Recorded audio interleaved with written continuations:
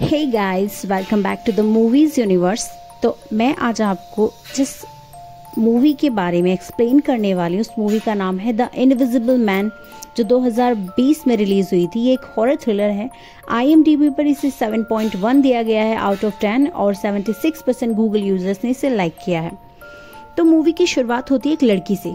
जो अपने अमीर बॉयफ्रेंड को छोड़कर रात के अंधेरे में कहीं भागने की कोशिश कर रही थी। उसके चेहरे का डर साफ़ बता रहा था कि वो अपने बॉयफ्रेंड से पीछा छुड़ाना चाहती है। उसके हाई सिक्योरिटी सिस्टम को फेल करके वो जंगल से भागते हुए एक सुनसान सड़क पर पहुँच जाती है। रात के साढ़े तीन बजे थे दूर दूर तक कोई नज़र नहीं आ रहा था। वो अपनी दोस्त एमली के इंतज़ार में थी, जिसे शायद उसने अपने प्लान के बारे में बताया होगा। लेकिन तभी उसे एक कार अपनी तरफ़ आती नज़र आती है। वो खुश हो जाती है और उस कार की तरफ़ बढ़ने लगती है। ये कोई और नहीं, उसकी दोस्त एमली ही थी। और अब तक हम जिस लड़की के बारे में बात कर रहे थे, उसका नाम सिसलिया है।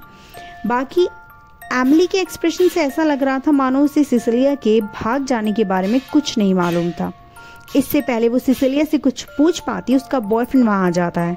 वो कार का शीशा तोड़ देता है और उसे बाहर निकालने की कोशिश करता है, मगर एमली एन वक्त पर गाड़ी भगा ले जाती है। फिर कहानी पूरे दो हफ़्ते बाद शिफ्ट हो जाती है। वो अपनी दोस्त के बॉयफ्रेंड के घर पर रुकी थी। वो अपने बॉयफ्रेंड से इतना डरी हुई थी कि आज पूरे दो हफ्तों में पहली बार वो घर से बाहर निकली थी। लेकिन एक होडेड आदमी को देखकर घबरा जाती है और वापस घर के अंदर भाग जाती है। उसका दोस्त जेम्स ये सब नोटिस कर रहा था, मगर वो उसे सपोर्ट करता था। यहाँ तक कि डोरबेल की आवाज़ सुनकर भी वो घबरा जाती थी। जेम्स देखने जाता है तो वो कोई और नहीं एमली थी। लेकिन ससीलिया उसे देखकर नाराज़ हो जाती है। क्योंकि उसे डर था कि उसका बीएफ एमली का पीछा करते हुए वहाँ आ सकता है। तब एमली उसे बताती है कि उसके बीएफ ने सुसाइड कर लिया है। अब उसे उससे डरने की ज़रूरत नहीं है। फिर वो सिसिलिया से पूछती है, आखिर उसने सिसिलिया के साथ ऐसा क्या किया था जो उसके दिल दिमाग में इतना डर बैठ गया है? फिर वो जेम्स और एमली को बताती है कि वो उसे कंट्रोल करता था। वो क्या पहन सकती है, क्या खा सकती है, कहाँ जा सकती है, कहाँ नहीं जा सकती? वो अभी भी यकीन नहीं कर पा रही थी कि उसके जैसा आदमी सुसाइड कर सकता है। यहाँ तक कि ससेलिया अपनी मर्ज़ी से कुछ बोल भी नहीं सकती थी, सोच भी नहीं सकती थी, क्योंकि वो एक साइंटिस्ट था, वो उसका दिमाग पढ़ लेता था। वो बताती है कि उसकी बात ना मानने पर वो उसे टॉर्चर करता था। तब एमली उसे यकीन दिलाती है कि अब उसे डरने की ज़रूरत नहीं है, वो मर चुका है। हम देख पाते हैं फाइनली सिसिलिया घर के बाहर निकलती है। इस घर में जेम्स की बेटी भी रहती थी, तभी जेम्स उसे एक लेटर देता है। वो किसने भेजा था? उसमें क्या था, वो यहाँ सस्पेंस रखा गया। लेकिन अगले ही सीन में हमें ये सस्पेंस भी ख़त्म हो जाता है। वो लेटर एड्रियन के भाई ने भेजा था, जो एड्रियन के ट्रस्ट का वकील भी था। एमली उसके साथ जाती है उससे मिलने को। सिसिलिया को एड्रियन की वसीयत के बारे में बताता है। वो बताते हैं कि सिसिलिया को हर महीने एक लाख डॉलर यानी टोटली पचास लाख डॉलर दिए जाएँगे, और ये एड्रियन की प्रॉपर्टी भी। ये सुनकर सिसिलिया काफ़ी हैरान थी। वो पेपर साइन कर देती है। उसे यकीन नहीं हो रहा था कि एड्रियन उसे इतना कुछ कैसे दे के गया है। इसके बाद सीन जेम्स के घर पर शिफ्ट होता है। सिसिलियंस सिंडी का एडमिशन उसकी फेवरेट कॉलेज में करवा देती है। अब जाकर फाइनली सिसिलिया अपनी ज़िंदगी में खुलकर जी पा रही थी। वो बहुत खुश थी। लेकिन कहीं ना कहीं उसका डर पूरी तरह गया नहीं था। उसे अक्सर लगता कि कोई उसे देख रहा है। रात में सिसिलिया अपने लैपटॉप पर कुछ काम कर रही थी, तभी उसे दरवाजे के बाहर किसी के होने का एहसास होता है। वो चेक करने जाती है। जब वो किचन में देख रही थी, तभी अचानक घर का डोर खुलता है। वो काफ़ी डर जाती है, मगर बाहर देखने पर उसे कुछ नहीं दिखता। वो फटाफट वापस जाकर दरवाज़ा लॉक कर लेती है।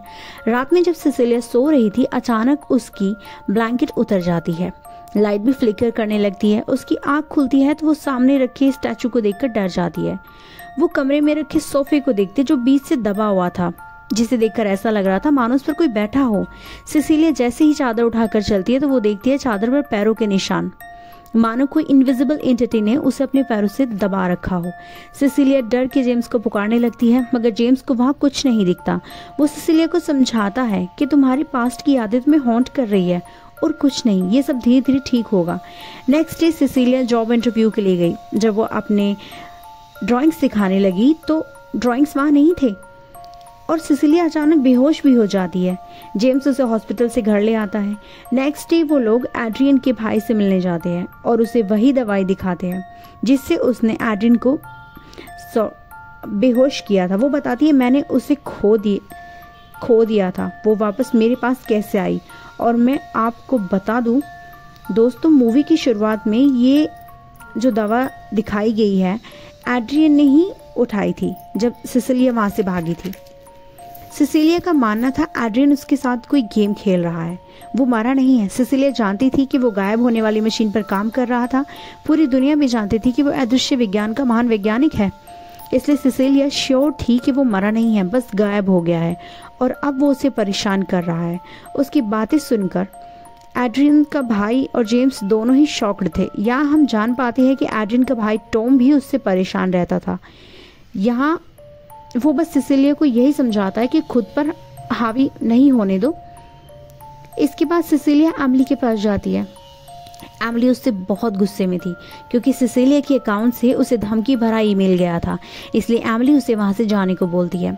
सिसिलिया कुछ समझ नहीं पा रही थी, उसके साथ ये सब क्या हो रहा है? वो बहुत कोशिश करती है अपनी बात एमली को समझाने की, मगर वो उसकी एक नहीं सुनती।